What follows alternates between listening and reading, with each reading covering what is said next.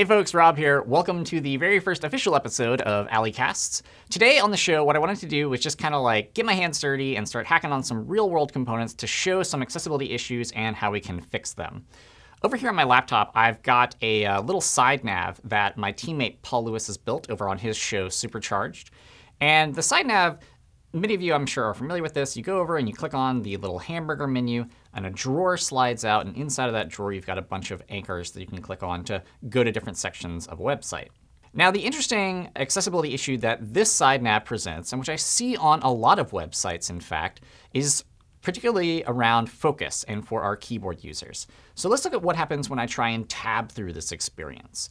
So I hit tab, and my focus is directed to that hamburger menu right? And then you would think that since I have this link down here, the next time I press tab, my focus would travel down there into the main content of the page.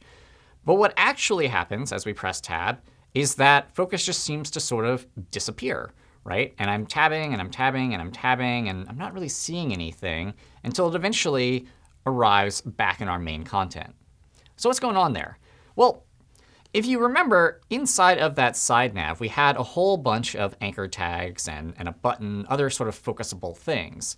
So focus isn't really disappearing. It's just moving off screen and focusing other elements. The problem with this is if you're a keyboard user or someone who relies on keyboard focus, uh, that can be a pretty confusing experience, especially if there's you know, a complex sidebar with a number of interactive controls off screen. When all you want to do is tab down and start interacting with the main content, it can be pretty frustrating. So there's no real easy way to fix this problem. We could set the drawer to display none, but that will actually cause our animations to jank when we slide the drawer back in. We could try setting tab index negative 1 on all of the focusable children, and that would kind of work, maybe. Or we could try setting maybe pointer events none, but that's probably not going to affect our keyboard behavior. So basically, we're kind of missing a core primitive in the platform. Some way to take a tree of elements and make all of them inert. So they could still be in the DOM, we could still animate them really fast with transforms, but they wouldn't be keyboard focusable. Now recently, a group of folks have been working on a sort of uh, new part of the HTML spec, a new attribute called inert. And if we go over to GitHub, we can actually see that there is this GitHub repo on the WICG GitHub org uh, for this inert attribute. There's an explainer written by my teammate Alice Boxhall on why we need inert and why it would benefit developers who are trying to roll accessibility into their apps. And uh, most importantly, there is this awesome little polyfill that we can use to actually start working with inert today in our applications. So that's what I'm going to do here today. I'm going to add this inert polyfill to our side nav and see if we can improve the focus experience. So over in GitHub, I'll just grab the raw JS version of inert. I'll switch over to my code editor, and I'm going to create a new file for inert.js. And I will just drop that polyfill in there. And then over in my index file, I've already gone ahead and I've got the side nav set up and everything. So the first thing I want to do is just add in the script tag that includes inert.js. So I'll drop in inert.js as a script at the bottom of the page.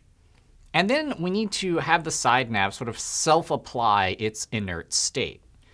So if we go to our side nav.js, inside the constructor for this element, there's a bunch of things going on here. But basically, uh, it's just kind of you know getting itself ready to be interactive. Setting up handlers and things like that. So this seems like a good place to go ahead and just say, all right, when this thing first boots up, let's set its inert state to true. So the element is inert. It's initially off screen. The user's not going to be able to tab to it or anything. we go over to our browser and refresh the page uh, we should see now that I can tab to that first hamburger menu. I tab again, and my focus moves right into the main content area, right to that click me link, which is what I'd expect. Now we need to uninert this element when the drawer slides out. So going back to our code editor, we'll drop down into some of these event handlers. Uh, we've got one here called show side nav.